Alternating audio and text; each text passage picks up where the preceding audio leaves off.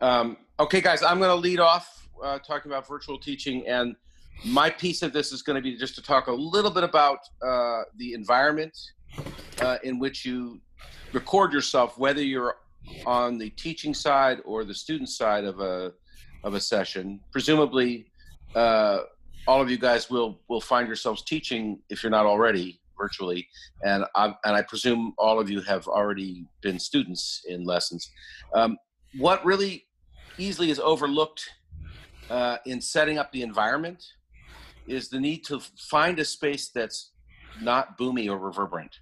That's very hard for a microphone to decode, and uh, so if you can find a space that's relatively dry and, and free of reverberation. And if there are drapes in a room, uh, all so much the better. And, of course, it has to be a room in which you can maintain quiet. And uh, that's not always compatible with a larger room because larger rooms tend to work a little better also. Um, but uh, backs to walls, uh, non boomy spaces, maybe not making making your uh, recording side of it in a bathroom maybe much better in a bedroom where you have a lot of drapery and bedding and that kind of thing um, and it's worth searching out a good space to do it uh, now that we know that we have to keep doing a lot of this for a while um, and anyway there are things about this the virtual environment teaching wise that that we're probably all finding are useful and we will retain once we're done necessarily having to social distance for lessons and everything. So it, it behooves us all to learn learn how to do it as well as we can. So those words about the environment, search for a good, quiet, reliable space that's not boomy. And uh, it's funny how many of my my own students I've had to tell, can you find a space in your home that's that's not as echoey as that? Feels better for us to play in resonant rooms, much much harder to record in them. Um, then just a few quick things about equipment, and my colleagues will jump in. It helps a ton to have an external mic. It's actually not important that it be the most expensive mic you can buy. However, there are differences. Uh, the main the main thing is that you need to have a cardioid mic, and ideally you need a mic with things that you can adjust. Uh, and the key things that you need to be able to adjust are if there's a narrow wide setting, a polarity setting, you want to have the, the narrow wide setting set to the narrow end of the spectrum. Uh, you want to have the, if there's a limiter setting, you'll want to have the limiter turned off. Because uh, while a limiter is great when you're trying to record for playback in a car speech, so you don't have to move the volume up and down while you're driving, for, for music where we're trying to enhance the dynamic range and convey that, uh, uh, it's, it's pretty important to have the limiter off or you'll be cutting out intermittently and it'll be very hard. If you've heard that situation with internal microphones and the sound cutting in and out, a lot of times that's caused by the limiter, not just the, the upload problems that we're having with, with bandwidth. Um, and we'll have other discussion about that from the others later. So if you can remember, turn the limiter off, turn turn the polarity to narrow or or nearly the narrowest setting, set the microphone maybe 18 inches away from you. And here's a, a neat trick to know. If you can, if your if your mic is on a stand of any kind at all, if you can put that stand on something soft or flexible, it'll eliminate vibration getting through. It, you you'd be astonished how much intermittent noise gets through if if, the, if there's any vibration under a microphone. So that's another just neat little trick to know. And and uh, there is a guide with much of this stuff rendered that uh, I posted into the into the uh, all of the documents for the for the festival. And if anybody ever has any further questions, I'm happy to answer. Um, specific equipment now we can sort of dive in together. I'm using uh, something from Shure called the MV88, which I like a lot. It has an app that goes into your iPhone or your Android, and it has uh, appropriate cables to attach to either. And that app is very, very useful and, and allows you to tweak the settings and experiment a little bit. It's a cardioid mic, like I'm suggesting you need, but there's a lot of other products out there, and my colleagues here are using, and you guys are all probably using different ones too. Um, maybe maybe you guys want to jump in with talking about the microphones that you've used. Uh, sure, sure. Um, uh, right now, I mean, I'm hooked into my A- AKG Lyra mic, which is what I'm using actually to do my virtual lessons. Um, it's a it's about a hundred and nineteen dollar microphone. It is suspended above me right now because when I'm teaching, um, uh, I can back up a little bit like you know this and be able to play, and it's it's more than an arm's uh, distance from me. Um, and you can kind of hear. I don't. I think it might be clear. Change my microphone, um, and now I'm on the um, the internal mic from the uh, computer, which probably has a kind of a narrow, tinny sound to it. Um, and then I do have a blue snowball, which let's see. So I'm on the Blue Snowball now. They, these all have kind of different sounds to them. Um, and what I also found, for those of you who have headphones, uh, I know I see uh, Mike and uh, I think Stefan's got headphones on. He's he's got this cool virtual. Um, if you uh, use uh, headphones, there's a different input and, and it actually has a bit of a different sound than just straight up out of the computer. So, so Mike, I have a question for you. Yeah. Uh, are you using a windscreen on your microphone on any of them? I, I have a pop filter on uh, for right. the AKG. Yeah. Um, this, these are, if you have them, folks, those are important, especially for anything spoken. Uh, it, yeah. it, what it does is minimize what's called plosives. Yeah, yeah. that's great. Yeah. Um, that helps a lot. Yeah. Um, and it's so, great. This is like 20 bucks. I think, you know, 20 bucks on a hundred yeah. mic. So yeah. The MV88 comes just, as you can see here, with just a little snowball on it, black snowball. And that works really well too. If you take that off, it definitely, uh, you get a lot more consonant uh, pop. Right, right. Um, and you know, one of the things if you're if you're sharing a microphone, that's a great thing to because you don't have to disinfect the microphone. You can just disinfect the pop filter. Um, so, it, you, you, know, there's always a concern about damage to to um, your microphone if you're cleaning it with something, whereas the peep, the pop filter is is easily clean. I know Alice has a different microphone that you've tried. Yes, I do. Can you hear me? Okay.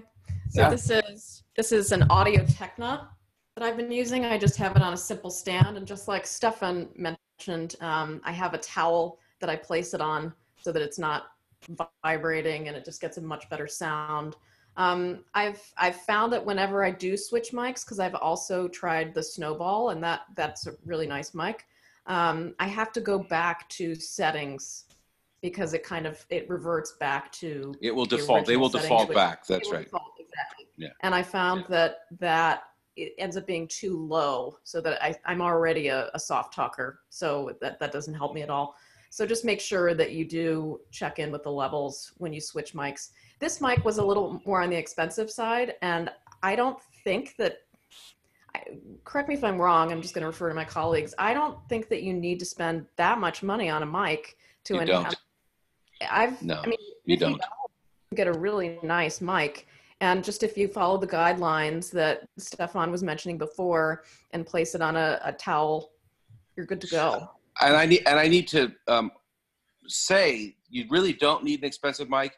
And for Guarneri Hall, we have the most expensive mics you could possibly imagine. We have, and I and I'm I love them. They're great. It's just it would be total overkill for the upload speed of a of, of this. We would I would never use it for that.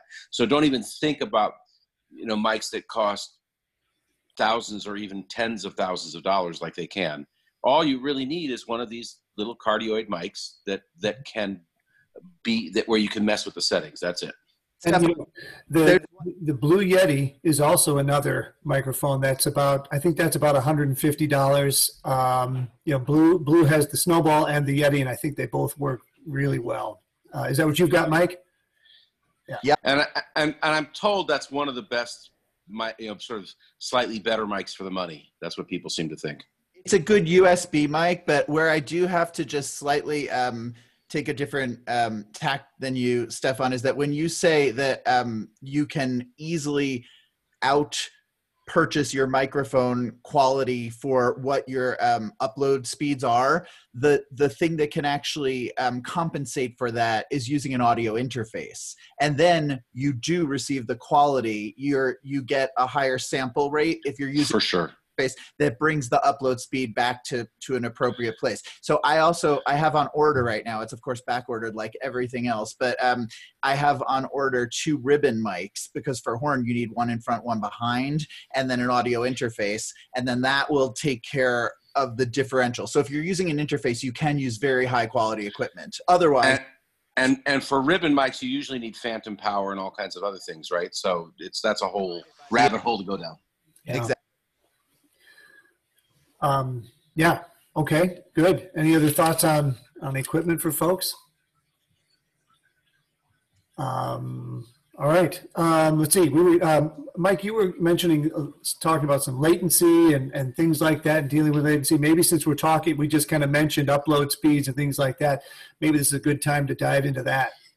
Okay, so last night I woke up around 3 a.m. or something and said, "All right, let me write down a few notes for this." And I got going down a you know wormhole or rabbit hole or whatever you want to call it. That I was probably up till 6:30 in the morning, fascinated. So I'm going to limit myself to a maximum of five minutes, but I'm going to screen share a few things here that I found that are truly very very interesting. One of the primary things about what I found that I think is very valuable for anyone that's doing education is that this a general sense of the technology and the science behind what's happening will absolutely impress parents who are paying for lessons to know that they know that you understand what's happening, how to reduce latency, and how to create the optimal situation for real time or as close to real time as possible is something that I can only imagine as a parent who pays for all sorts of lessons and stuff for my children um, would simply like be- make me feel like I don't understand a thing you're saying, but it's obvious that you're an expert in some of that. So. Out if you feel like it. Stay with me if you want. I'm going to very quickly screen share something. Mike, just if I could interject, would you mind just talking for a second about exactly what latency is to make sure everybody understands it? That's the first thing we're going to get to as soon as I pull up this share because it has definitions. So Oh, great. if I'm share, oh, uh, am I? I am screen sharing, but I'm screen sharing everything in the world. So hang on, show, uh, slideshow, play, play from current slide, go. Okay, good. So the very basic terminology when you're dealing with bandwidth, that in terms of an analogy would be kind of like so I work in Los Angeles a lot, and I would say bandwidth is the number of lanes available. So a seven lane highway is a lot of bandwidth. It's the amount of room that's available to move information or to move cars. That doesn't necessarily mean it's going fast if you've ever been in Los Angeles. You can sit in seven lanes of traffic for a very, very long time. But But it's moving fast right now, right? Yeah, right. It's weird. It's weird. Yeah. latency has to do with the delay that that um, interferes with that transfer. So latency in our kind of um, auto analogy would probably be a lot more like if there's an accident or something that's kind of like slowing down your progress. It's not driving slowly intentionally, it's something that's slowing it down.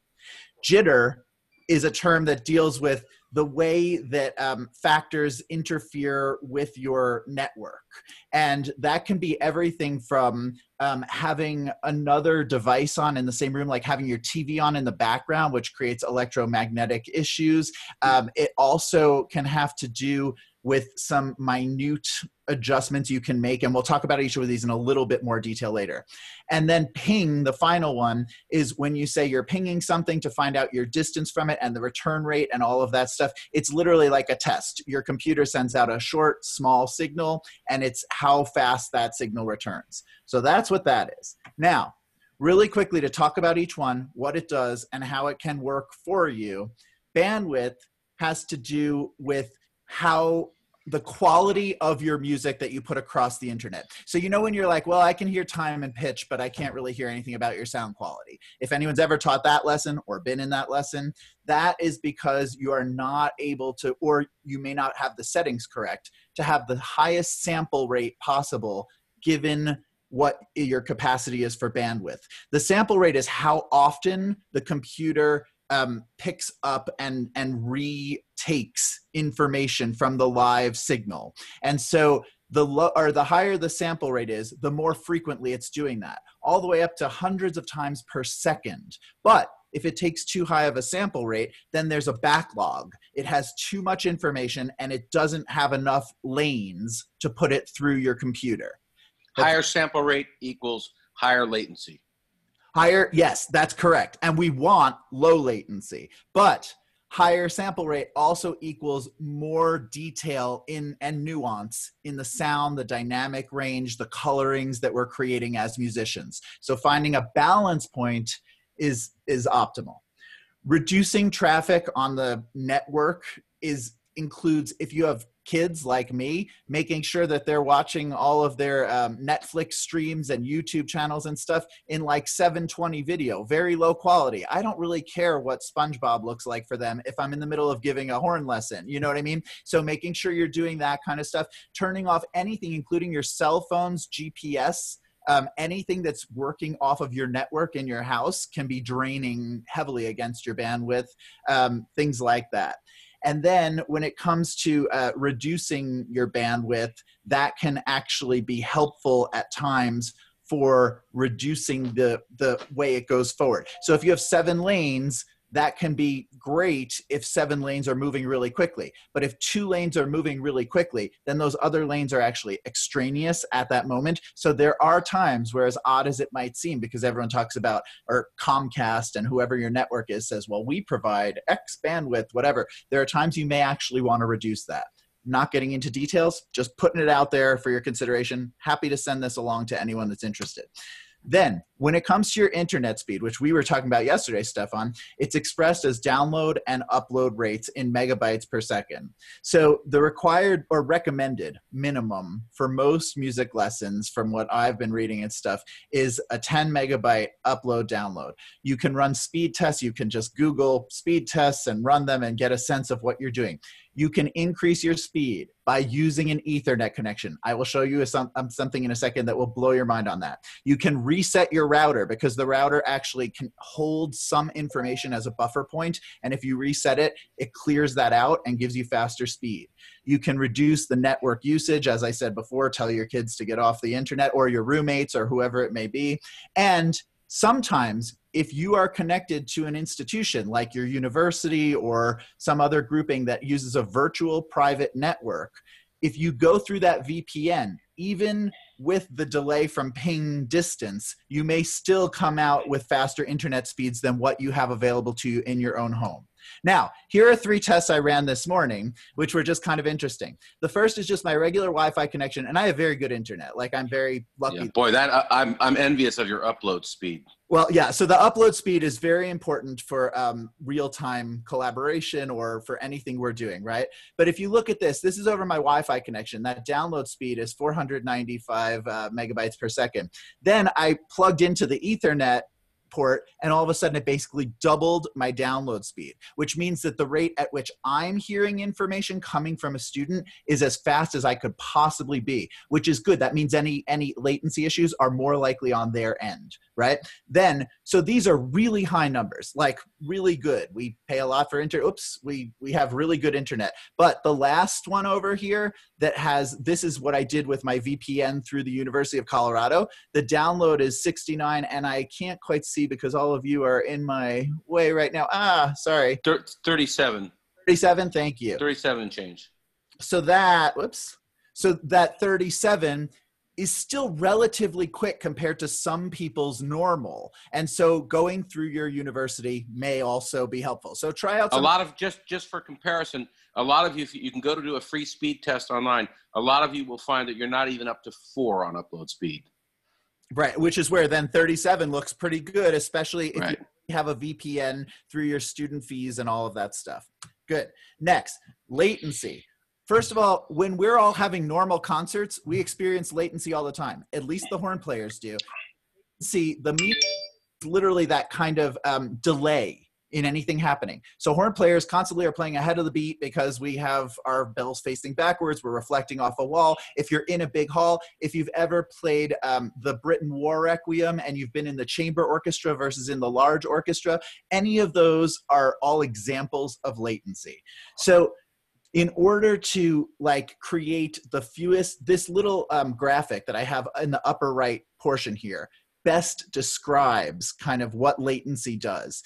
As you go through more levels of stuff between your end and the other user's end, that's a problem. So on the left, happens with a laptop. You go through Wi-Fi, you go through your cable, you go through the internet service provider. Then you finally get to, you know, whatever this is, the Ethernet or the whatever the World Wide Web, I don't know, whatever you're calling it. I, this is great for a tech class. Anyway, then on the other side, you have a direct Ethernet connection, which goes straight to the service provider and straight out. So you've reduced your latency. You've reduced the number of levels you're going through. It's like um, in that movie, uh, A Christmas Story, when the kid is wearing the huge uh, snowsuit. You know, you don't walk as well with the huge snowsuit, which is like Wi-Fi and your computer and all that kind of stuff.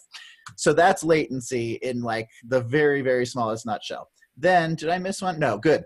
The final thing I just am putting out here is a couple of things that we sometimes hear. The first one I put in because I was like, oh my God, that's why that was happening. I was making recordings at the beginning of all of this, and I was kind of like, what's going on here? Why does it sound like I'm editing these? There's like these pops or these bumps, and it was because my buffer rate was not good. So when you're using any of these programs, looking at your buffer rate can be a great way to um, if you have a higher buffer rate, that means then that the computer's holding just a little bit more information and smoothing out the flow. So check that out and check if your microphone requires phantom power. As Stefan just mentioned very briefly before, some microphones that are not USB connected require an additional power source. If the sound is cutting in and out, that's often a result of jitter there are things called a jitter buffer that you can get as a software program that will smooth out the same way that your buffer rate changes in programs like um, digital audio workspaces. Then, if your video and audio is freezing, increase your bit rate or use adaptive bitrate streaming because some um, internet providers offer that as an add-on cost. You can reduce your CPU load by just closing all your other programs, and performing any hardware updates that might be available. If you hear an echo, I should have led with this one. Put on headphones first. It could be an echo from what's happening in your live space versus what's going into your microphone. You can decrease your buffer rate. So it's funny, you increase it for clicking, you decrease it if you're hearing an echo. You use the low latency mode if it's available in certain um, digital audio workspaces, DAWs, and close all other programs using audio. Okay, there is so much more I could talk about on this, but I won't. If you're interested, feel free to be in touch. Great. Wow. Good information. Uh, there will be there will be a quiz, right? as long as I don't have to take it. All right, so we've we've talked about uh, uh, room setup and equipment and and latency issues, and now we should probably talk about some of the virtual platforms that that you are likely to be using. And I know Alice has got some information on that. I do. Thank you. So I'm just going to go ahead and share the screen and get to my little presentation here. Um, I, I realize that you're all familiar with these platforms, but I thought it would be interesting to hear um, what we thought of the platforms and what we've experienced as uh, teachers, professors. So let me get this to view here. Where did it go?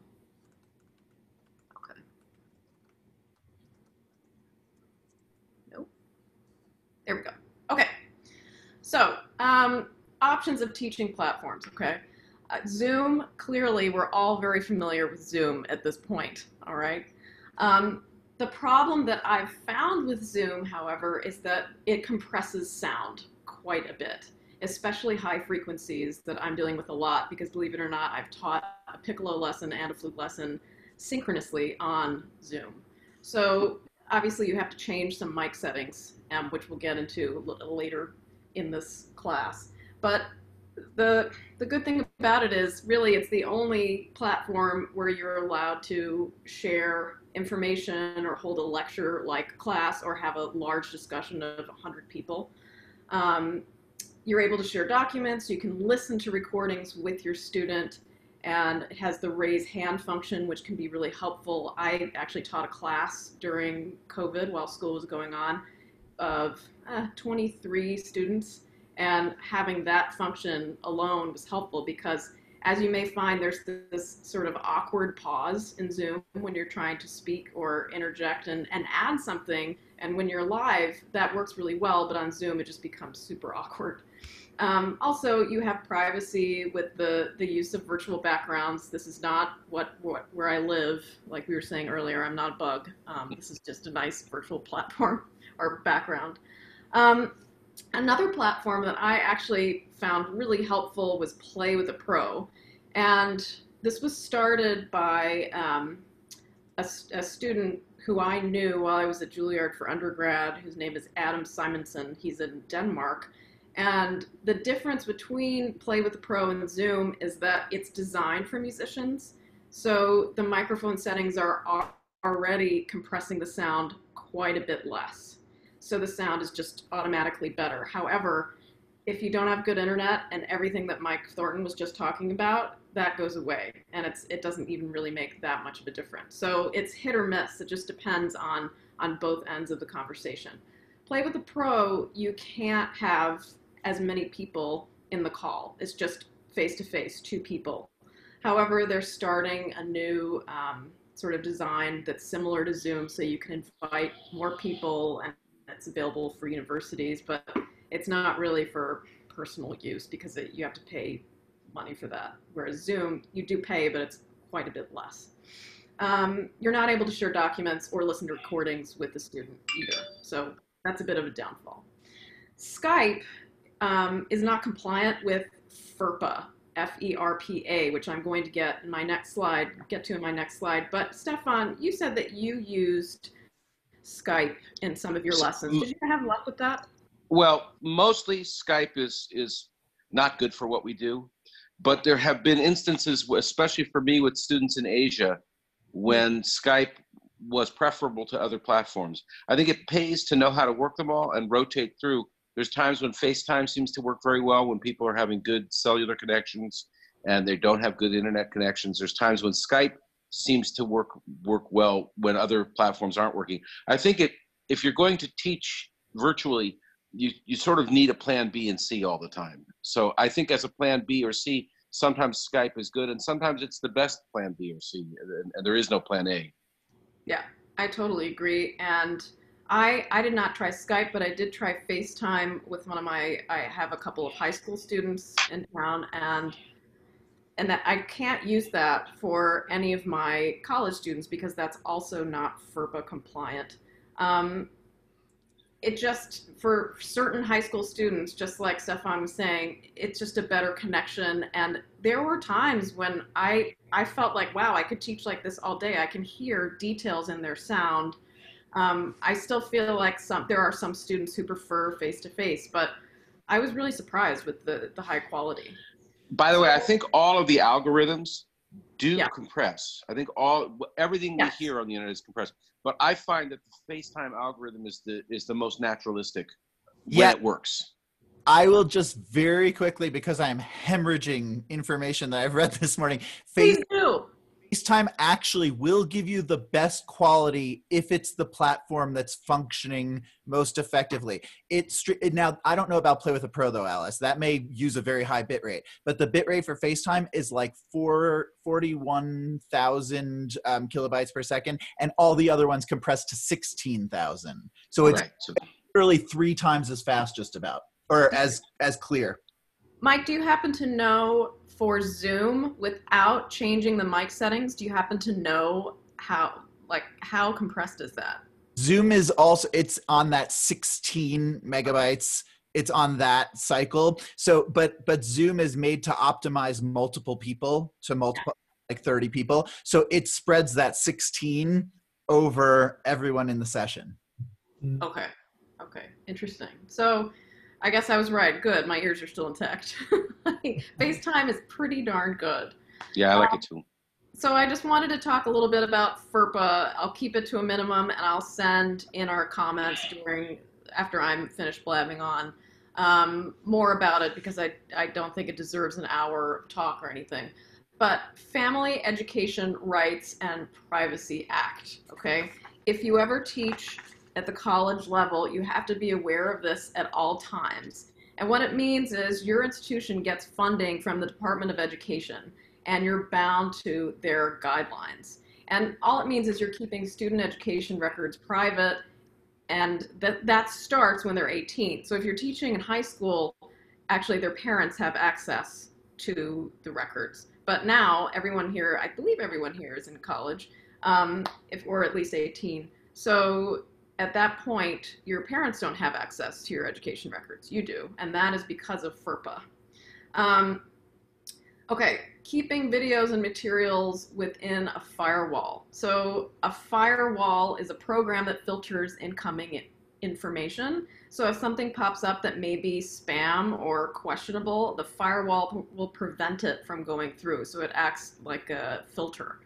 Um, this is why when I'm either teaching a class or teaching my students, or my, my teach my students uploaded their videos for their um, their jury, their final exam, they all uploaded it through Canvas, which is designed. That platform is designed to be FERPA compliant, and it acts kind of as a firewall. Um, and using Panopto, it's just uploaded directly to Canvas, and it's completely safe. Um, some students decided to use YouTube links or create YouTube videos and then have them unlisted or private, which MU, University of Missouri, where I teach, approved. I'm not sure how safe that is, and anyone can interject if they know about that. Um, about Zoom, however, with regards to keeping within a firewall, it's already helpful that I'm using a Zoom account through a university, but I have to keep the Zoom links private because that's when you come in with um, people interrupting Zoom meetings and you know someone who's not invited, and that's why we use the waiting room and etc. It's a it's a security issue. Okay. Um, but generally speaking, what you have to keep in mind is does my university have a contract with this vendor?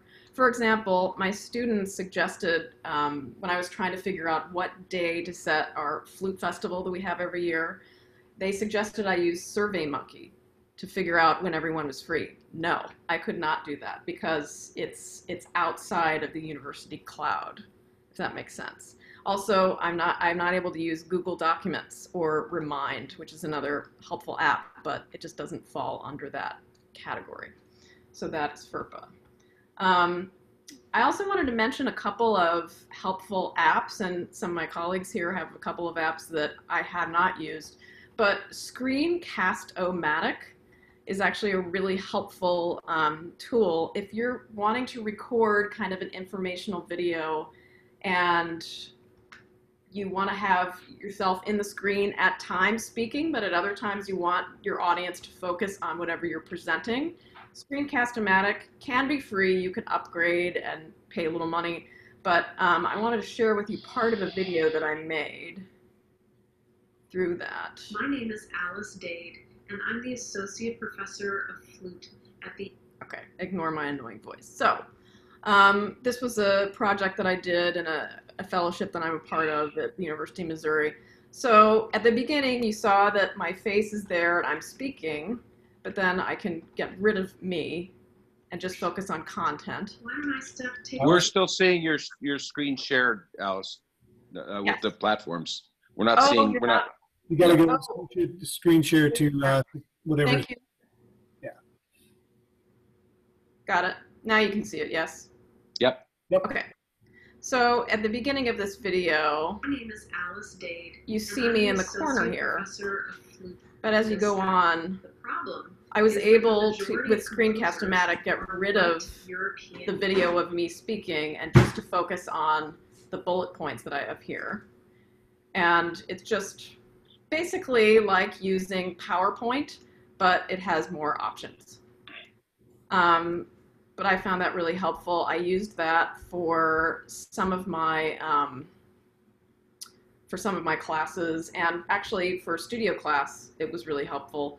Um, and we'll get into it later on in this, but sometimes posting extra information or extra videos for students, I found that to be helpful because students wanted more to do, frankly. Um, okay, so let me get back to my presentation here. Okay, um, Mike Thornton, I believe you listed JamKazam, and I'm not familiar with that. Could you talk a little bit about that? It really it functions the same way as Jamulus and some of the other um, virtual um, real-time platforms for chamber music and they're all called jam whatever because they were developed by rock bands you know to kind of practice one person in seattle one person in new york what that kind of situation mm-hmm.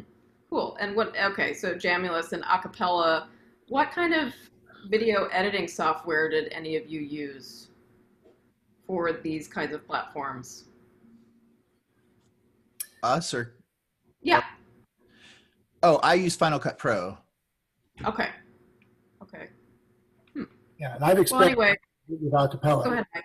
No, I just was saying I've experimented a little bit with acapella, but not very significantly at this point. Do, do those do those jam programs do they offer a click or how do they help you synchronize? What's the what's the system? They're completely synchronous like they're in real if the latency is under 20 milliseconds on both sides of the connection it you there's no click you hear it in real time like as if you're in the room they're pretty impressive at at cu we ran tests where everyone was on the exact same network in the same place literally one studio away from each other basically and um, and on the fastest possible network and it was pretty much the same as being right next to someone wow that's cool wow but as distance increases, as individual people's latencies increase, then you're going to be frustrated by lag and stuff. Right. Okay. Okay.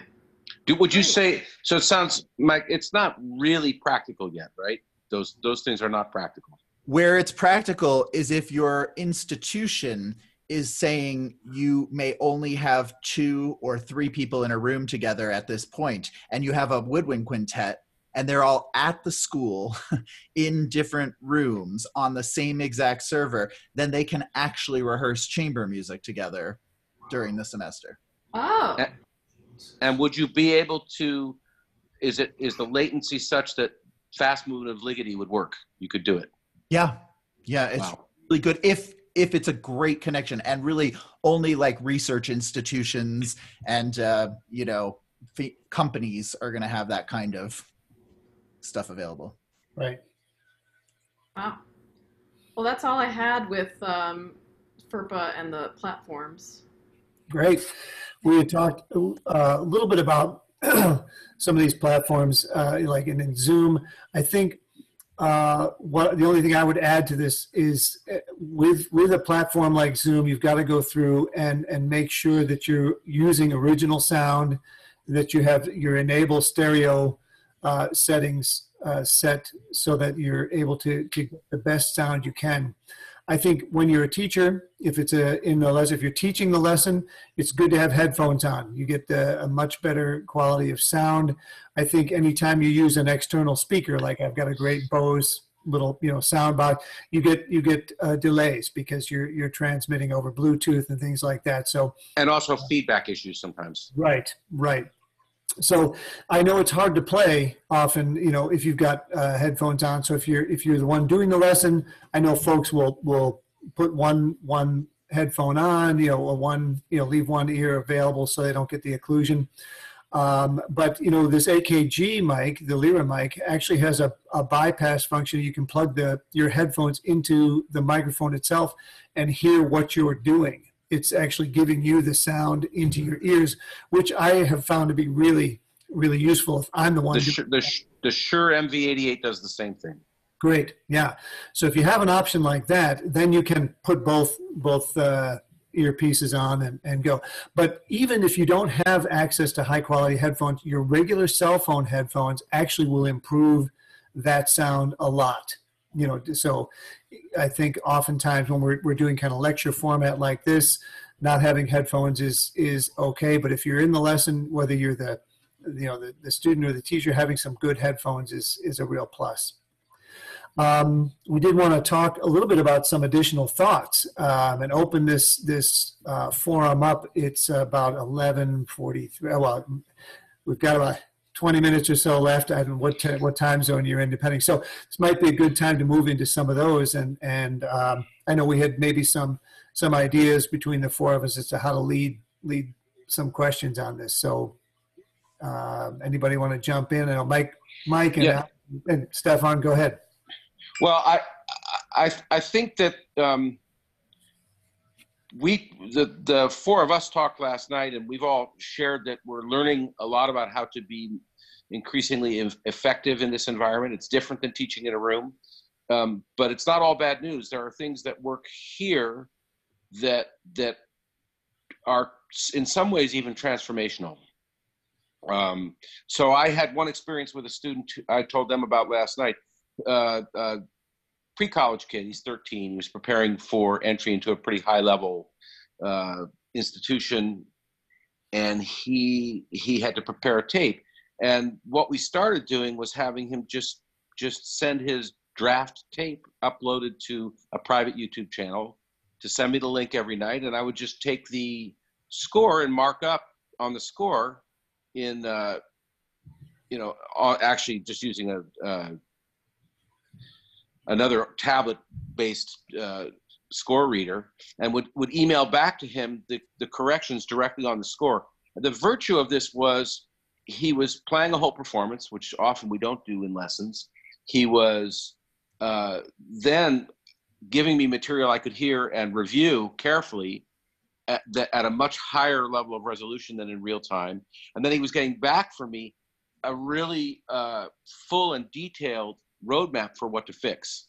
And we found that by doing this repeatedly over the period of time, he, he his it really just absolutely transformed his preparation of that uh, preparing that tape, which became quite good. And then he submitted it, was successful in what he was trying to do, and we've continued using that method for his preparation of etudes and things that he's charging through with in a, as a supplement to his lesson. It gives us stuff to talk about in the lesson in more detail. So that's just one little anecdote about something I learned about this that I will continue to use even once I'm in the room teaching with students. Anybody else want to share things like that? Yeah, uh, uh, I think there are a couple thoughts. Uh, I had um, one of the things that you can also do is is in GarageBand is to create a podcast track that goes along with in real time the recording that the student has submitted, and you can actually make comments um, and when you when you download that, it'll sync those two things up, and so your comments will be in real time. Um, and then you can send that that back to the student. Uh, also, the idea of a recorded, um, whether it's uh, I, I, use Dropbox a lot of times, or, or students will will have a private YouTube channel, is to screen share that at the either in you know if you download it as a in dropbox oftentimes it will will open in your itunes. You can share your itunes and then the quality of sound is much better um, for the student uh, you know receiving that. And so you can actually talk together in real time while you're sharing the screen you know sharing the the itunes or whatever particular recording there is. That's worked well before. Um, written comments back i think are good. And one of the things that i've doing, been doing this semester is to actually have my students critique their own playing as part of the lesson. So make your recording and then write your, your comments about your own performance and send that back with the recording uh, because that gives us something to to talk about in the lesson which and i think there's something really beneficial to to your own reflection on your lesson so those are a couple of things that I have found it has been at least a, a benefit to this particular type of, of lessons.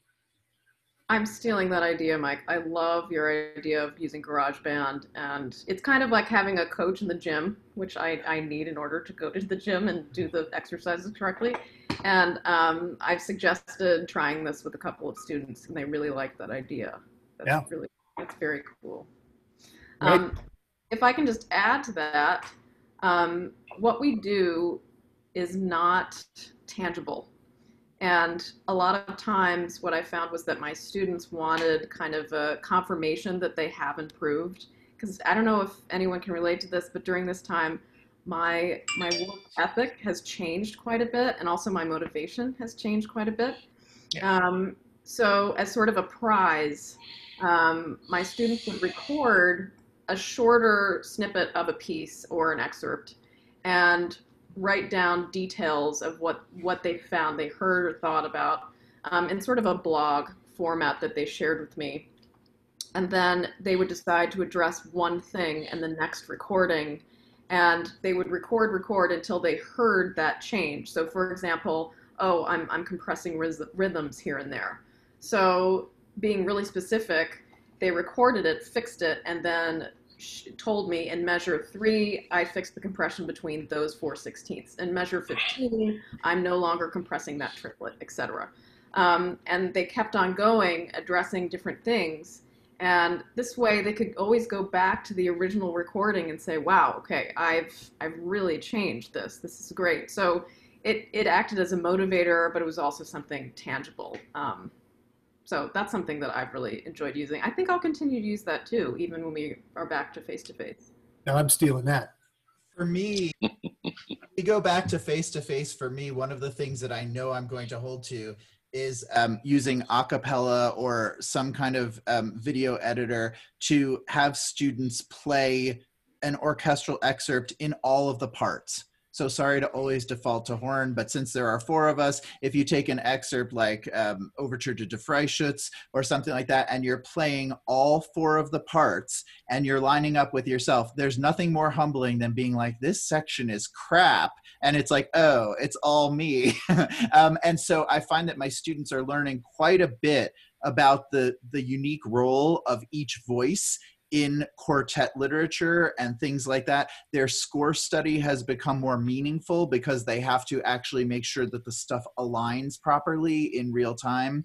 Um, and they are becoming more aware of tendencies of certain voicings and certain things that composers have written that we may need to compensate for. So I never did any of that before this, and I know that I will continue to ask them to play all parts to an excerpt because I we say to them study the score, listen to recordings, and yeah, maybe they're doing it, maybe they're not, but there's no way around this if they have to submit all four voices. Yeah, hands-on works better, right? Sometimes, yeah. Yeah. A um, couple other thoughts. We had we had talked a little bit about some uh, you know, how to create meaningful uh, performance uh, opportunities, um, some virtual collaboration projects, and and uh, how to promote uh, conversations and platforms and things like that. So, um, any any follow up from you guys on this? For um, creating virtual or real performance opportunities in virtual spaces. My students had a, uh, a master class this spring with David Cooper from Chicago Symphony, and they were like, we want to actually play for him. So, what we did to reduce that issue, Alice, that we were talking about with Zoom, where it takes those 16 megabytes or whatever and spreads it out over everyone on the thing, what we did was we made the class public and we broadcast from Zoom to Facebook Live because um, Zoom has the capacity to broadcast live to that. And we had the entire audience go on Facebook Live, and only the performer and um, the the master clinician were on Zoom. So the breakdown of that was much smaller, and the kids were actually able to play in real time, knowing there was a big virtual. I mean, there were over 100 people because it's the principal of Chicago Symphony and everything. So there were over 100 people out there listening to them. So they had some heat on them. And the latency was pretty strong because we were using multiple, we were dividing it over multiple platforms. That's awesome. That's a cool. yeah, really great. That's really great. I have kind of a, a letdown a- anecdote from that. That I'm, I'm impressed by that but I'll, I'll let you guys in on a little bit of a trick that we've learned at Guarneri Hall, where we've been streaming concerts for a couple of years now. Um, we, it's often we don't do this, but with concerts now going forward that are not that aren't including a live audience, our plan is in fact to capture the the performance as a live performance in advance of the actual um, event itself so that we can upload it at a higher bit rate and it can be witnessed in, a, in, in much higher resolution. Um, don't tell anybody. We, we're calling them live events. They're, they're for sure straight performances. We're not editing, we're not doing anything to them, but it allows us to upload at a much higher bit rate. Right, right. Virtual commencements were done done very similar uh, to that. Yeah. Yes, yes. Well, should we open this up for for questions from from everybody else? Sure. Okay, you can throw it in the chat, or you can you can uh, unmute yourself and and jump in. Looks like we have one from Catherine. What are your preferences, thoughts about online doc storage and sharing, i.e., Dropbox, Google Drive, Cloud, or others? That's a good question. Thank you, Catherine. Yeah. I'm lazy, so I tend to Don't be lazy, Mike. just pay whatever it costs to use um, Apple's iCloud or whatever they're calling it, because then even if I want to send a large document, in, it just I can drop like a gigantic movie into an email. I just drag it in, and it says to me, "Do you want to send this using Apple's server or whatever?" And I'm like, "Yup." So I don't even want to upload to any of those other things and do. So if you are an Apple person and you want, or if if you're trying to decide what direction you're going with things, if you don't want to invest a lot of time into figuring some of this kind of stuff out, I will say Apple makes it very easy and very expensive to um, to kind of like just do everything one stop shopping. And that's Uh, the iCloud, Apple iCloud. Hmm. I do I do a lot of um, post production uh, work with a team on audio and video files, and for most of that, we tend to like to use something called Hightail. And and the reason we like Hightail is just the way it organizes files and and the detail in which it gives timestamps, um, which saves us a lot of time in the editing process. I don't think that's needed for most of you. Dropbox works really well. Uh, you know, I I don't I have never tried uploading uh, digital files other than texts to Google Docs. Does it hold that kind of data or not? No idea. I don't know. I've I've used Dropbox and in and for in a couple of different ways. One, I mean, that's where I keep a lot of my stuff. But also, when I was doing virtual lessons, uh, I gave each of my students a folder in Dropbox that was exclusively theirs, and they could just upload their their things, regular lessons and, and things like that. And it, it was not a shared, yeah, I mean, it was shared between the, the, the two of us, but it wasn't shared across the whole studio. And then I had an actual studio Dropbox Right. where if we're going to do studio recordings or something like that, they could all just upload their their materials into Dropbox. So I found that to be pretty convenient. Uh, email is, and I don't know how it is at, at some of these places, but email at, at, at my university is restricted uh, to the size of a file. Um, and so, Audio files are too big for email. You really have to, yeah, and, and video files even more so. right. Well, and we have to compress them so much to make them small enough to send that it's not worth it. Some And- universities have a file. People to do it, like because you can just go in your email and it goes. Right, that's pretty slick. Some universities have a file, like what they call it, a file depot, a file sharing, sharing, and that's pretty slick. Uh, because if it's a large file, you can upload it, and then somebody can just download on the other end, and as long as they have the address for that. So if your university has one of those, uh, take a look at at getting into that if Dropbox isn't available. Actually, Dropbox is available, that is usually it's because for Dropbox, when you get into larger quantities, you have to start paying. And just like the virtual private network, if you're affiliated with an institution that has a large file transfer, it will give you the best speeds and the most space eh, for free. I can guarantee you. Right. Right. I actually use Box because that is the the sharing system that the University of Missouri uses. I've used Dropbox before, like my Kroth Box- was describing. Box it. works well though. I use Box as well. It works fine. I find it to be really similar to Dropbox. It is. It's very intuitive, very user friendly.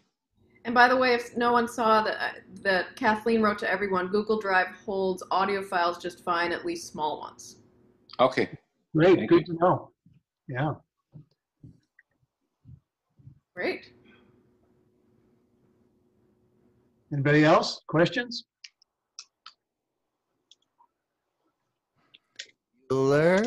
Oh no.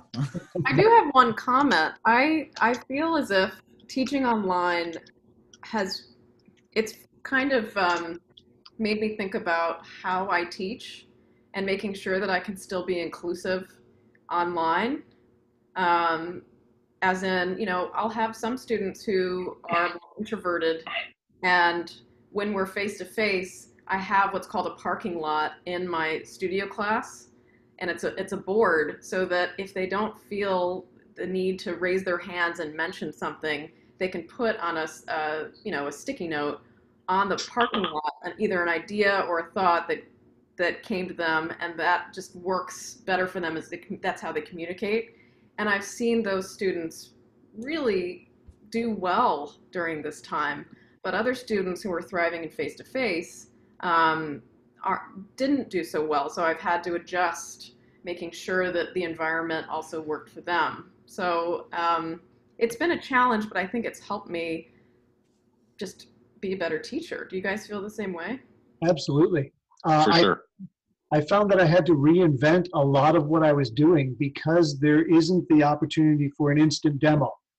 Uh, you know, you can't just pick up your horn. I mean, you, you can, but but um, you know, oftentimes when you're just right there face to face, you're diagnosing problems because you can see what's going on with the student. So so finding out how to ask the right questions in a Zoom form or you know virtual format was was was part of the learning curve. Uh, and struggle, you know, there are some students who, I mean, we had to find alternatives for because they have terrible bandwidth because they're in the in in uh, an apartment complex downtown. Even though they're quarantining, every student is on at the same time.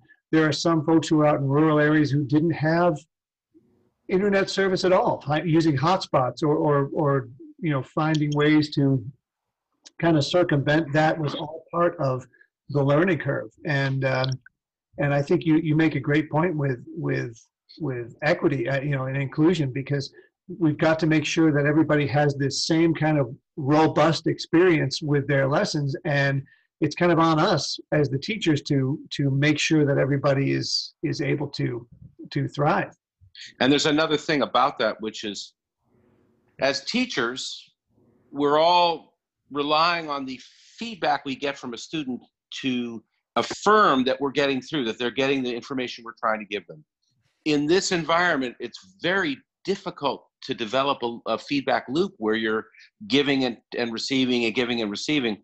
And with some students in particular, that's harder than with others.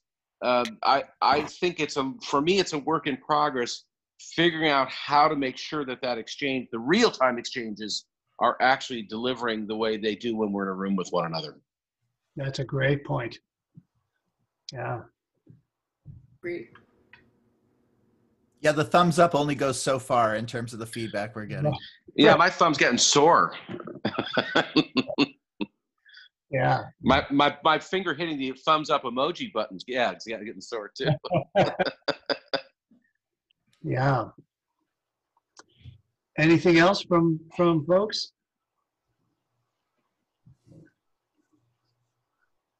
Okay. Well, like to like to thank my colleagues. That was a great session, guys. Thank you. Yeah, thank you. I've learned something today. It's great.